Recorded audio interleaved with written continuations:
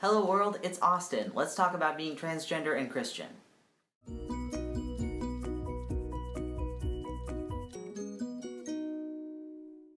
Oh man, I have a great surprise for you all this week. This is going to be the very first transgender and Christian guest video, because guess what? I'm just one person, and I'm not representative of all trans Christians by any means. So I'm hoping to open up the platform a little bit and do more guest videos and introduce you to some really cool people, so I hope you enjoy them. This week I'd like to introduce you to my friend M, who is non-binary. But I'll let them speak for themselves. So M, take it away. Tell us a little bit about yourself and about how you identify. Hello, my name is M. I use they, them, their pronouns. I am currently living in Chicago, uh, though I'm a Southerner at heart. I identify as a non binary trans person. I'm also okay with the word genderqueer for me. Um, this identity for me means that uh, I've never really found an authentic home in the gender of woman nor of man. And uh, when I was exposed to the reality of non binary genders, uh, it finally made sense for, for who I am. For me, again, it's just about uh, being able to identify as um, something other than a man or a woman. I believe that uh, gender is much more expansive than those two categories, and I think uh, with time we'll see that there are a lot of people that actually would be much more comfortable in a gender identity outside of one of those two. Non binary identities can be really liberating uh, and finally help us to um, feel like there's language for who we are. Totally. I remember how it felt to come across language that I identified with for the first time. It was amazing. Uh, can you tell us a little bit about your faith community and how you participate in it? So I'm a United Methodist. I grew up mostly in the Methodist Church. My dad is Catholic, so I spent some time in the Catholic Church occasionally as well, uh, and did a little non-denom stuff in high school. But largely, uh, the Methodist Church has always been my spiritual home. Uh, it's been a complicated relationship uh, for a number of years now, especially when I came out as queer, and then certainly now uh, identifying as trans as well. Um, but it's a very meaningful part of my life. I am called to be a deacon in the United Methodist Church, so I'm on the ordination track. Uh, I went to seminary a couple years years back. Uh, I currently attend Broadway United Methodist Church, which is here in Chicago. It's a small community that I'm very proud to be a part of. Uh, and I also work at Reconciling Ministries Network, which is not an official United Methodist organization, but uh, we are uh, basically a bunch of United Methodists organizing to create uh, LGBTQ justice in the United Methodist Church. That's really cool. Uh, is there one thing that you wish the rest of the LGBTQ community would remember about non binary folks? Simply that we exist would be a nice start. Uh, you know, I so I identify as queer, but bi is also true for me. I'm attracted to more than one gender.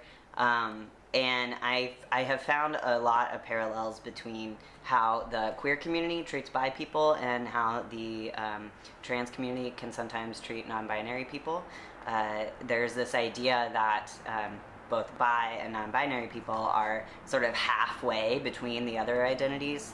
We are defined by what we're not, how much of what of uh, what identities we're not.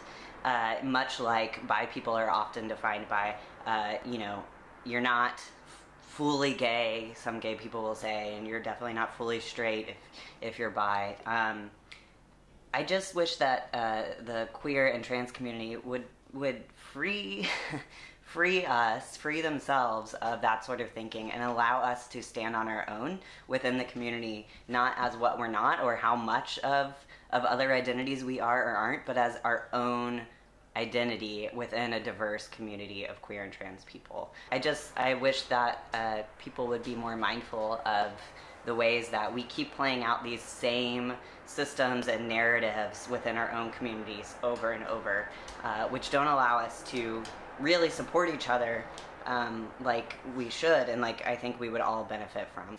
Absolutely. I know as a binary trans person, I often fall into the ditch of assuming that people are one thing or another, and I should know better. I know lots of people feel, at least in the beginning, like their gender identity and their faith are in conflict somehow. Did you ever feel that way?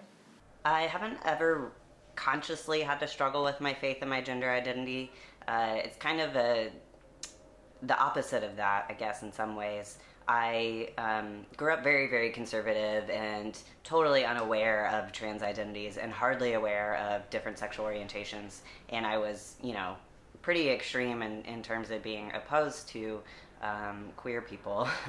and so by the time I went to college and ultimately seminary, I had a lot of, of theological uh, work to do, a lot of undoing of a very narrow understanding of who God is and, and who I am and who the world is. Um, and I feel very lucky to have been able to uh, really dive into not only social systems and how those uh, were playing out in my narrow faith growing up, but also be exposed to some um, other theologies that certainly I never heard of growing up. But things like queer theology and feminist theology and womanist theology and black theology and liberation theology, these things completely brought me to life and transformed my faith and transformed who I understand God to be, and again, who that allows and calls all of us to be. Uh, by the time that I worked out my sexual orientation, I just had a different framework that actually, instead of keeping me from coming out as trans, it empowered me to come out. Uh, I, I don't know that I would have had the strength if it were not for um, a very empowering uh, uh, spirituality and, and theology um, that you know insisted I be who I am as God created me to be. So my faith has allowed me to enter into that uh, rather than kept me from it. Okay, last question. Was there ever a time when you felt like your gender identity and your faith were totally in sync, like there was no conflict whatsoever? last year I went to the Trans Health Conference in Philadelphia and I met up with some other uh, trans and trans affirming Christians who are actually pastors. And it was just so nice to be able to um, speak and, and, and play and relax with other Christians who didn't have to be on the defense about my gender identity, but who saw it as an incorporation of their incorporated into their own faith. Um, and I just felt so free in that. And I think, you know, for a lot of us who are trans and, and or queer, um, the church is currently not incorporating sexual orientation and gender identity uh, into, you know, theology and discipleship and liturgy. Um, and and I just think that for those of us who are the minority in those ways, uh, sometimes the most powerful powerful thing to do is to create that stuff ourselves and then invite those in the church who want to participate into it. We need to create the stuff ourselves, and we are capable, and um, we are um, called to it.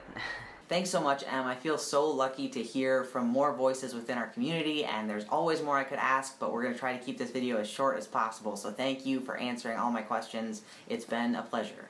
And thanks for watching the video this week, everybody. If you want to connect with M and check out their work with the United Methodist community, definitely do that. You can find them on Twitter. Their ha handle is mxbarclay, so I'm going to put that down below as well, so you can check that out. I won't see you back here next week because I'm taking a quick break to prepare for the Gay Christian Network Conference. So if you're going to be there, I'll see you then. Otherwise, hit subscribe and I will see you back here on January 13th for the first video of 2016. Thanks for watching, everybody. Peace.